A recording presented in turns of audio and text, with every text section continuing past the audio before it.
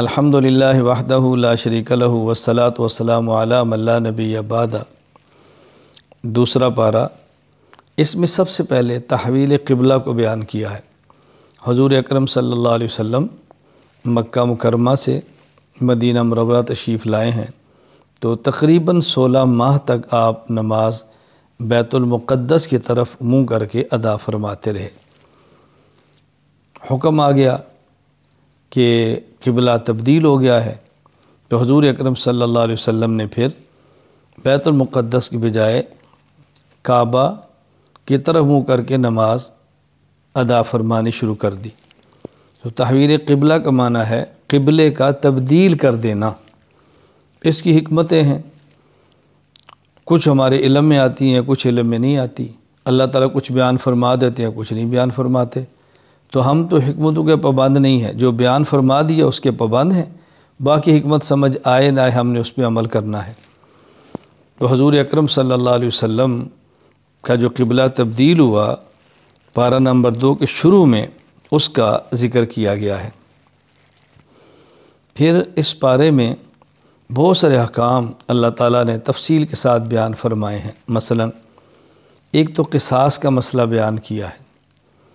اور اگر قصاص کے مسئلے پر عمل درآمد ہو، آپ یقین فرمائیں قتل نحق کے دروازے بند ہو جائیں۔ نمبر دو، وصیت کا مسئلہ بیان کیا ہے۔ اگر وصیت پر عمل کر لیا جائے اور وصیت کو سمجھ لیا جائے، تو بہت بڑا ایک خاندان کا مسئلہ حل ہو جاتا ہے۔ وصیت کس مال میں کرنی ہے؟ وصیت کن کے لیے کرنی ہے؟ یہ تفصیلی احکام ہیں۔ لیکن قرآن کریم میں پارہ نمبر دو میں وصیت کا مسئلہ بیان فرمایا۔ نمبر تین، جہاد کا مسئلہ بیان کیا۔ یہ بات یہ نشین فرما دیں۔ فرما لیں کہ شریعت کی اصطلاح میں، شریعت کی زبان میں جہاد نام ہے قتال فی سبیل اللہ کا۔ اگر کسی اور حکم شریع پر لفظ جہاد کا استعمال ہوا ہے تو وہ لغت کے اعتبار سے ہے، شریعت کی اصطلاح نہیں ہے۔ اللہ تعالیٰ نے مجاہدین کو دیگر تمام اعمال کرنے والوں پر فضیلت عطا فرمائی ہے۔ جہاد شریعت کا بہت اہم مسئلہ ہے۔ تو جہاد القتال کو بیان فرمایا۔ نمبر چار، مرتدین کی سزا کو بیان فرمایا کہ جو شخص مومن ہے پھر وہ ایمان کو چھوڑ دیتا ہے اور کافر ہو جاتا ہے، مرتد، جس کی سزا قتل ہے۔ تو مرتد کی سزا کو بیان فرمایا۔ یہ بات ذہن نشین فرما لیں کہ مرتد کو سزا دینا یہ ہر آدمی کے اختیار میں نہیں ہے کہ جس کا جی سے اٹھ کے مرتد کو گولی مار دے یا قتل کر دے۔ فی الحال میں اس کے تفصیلی احکام بیان نہیں کر رہا، خلاصہ بیان کر رہا ہوں کہ مرتدین کی سزا کا ذکر فرمایا۔ نمبر پانچ عورت کے ساتھ حالت حیض میں ہم بستری کرنا ناجائز اور حرام ہے۔ اس کو بیان فرمایا۔ یہاں یہ بات یہ نشین فرما لیں کہ عورت کو ہر ماہ جو ماہواری کا خون آتا ہے، اس کو حیض کا خون کہتے ہیں۔ اور بچے کی ولادت کے بعد جو خون آتا ہے، اس کو نفاس کا خون کہتے ہیں۔ قرآن کریم میں حالت حیض میں بیوی کے ساتھ ہم بستر ہونے کو منع فرمایا۔ اور قرآن کریم میں حالت نفاس میں عورت کے ساتھ ہم بستر ہونے کو منع فرمانا اس کا ذکر نہیں ہے، لیکن وہ بھی اسی طرح حرام اور ناجائز ہے۔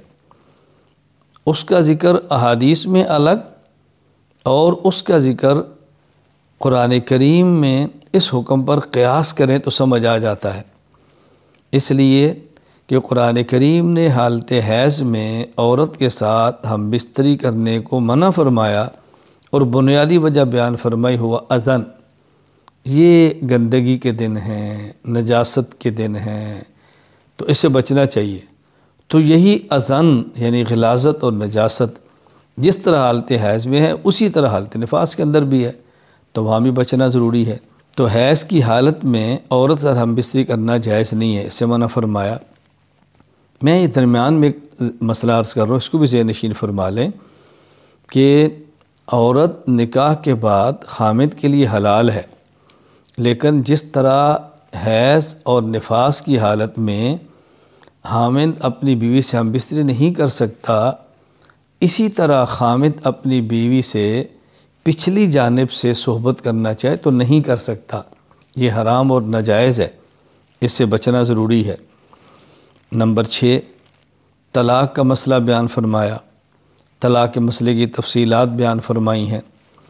طلاق کے بارے میں ذہن نشین فرما لیں کہ ایک طلاق دیں تو ایک، دو طلاق دیں تو دو، تین طلاق دیں تو تین۔ تین طلاق دیں تو تین ہی ہوتی ہیں، تین طلاق دینے سے ایک نہیں ہوتی۔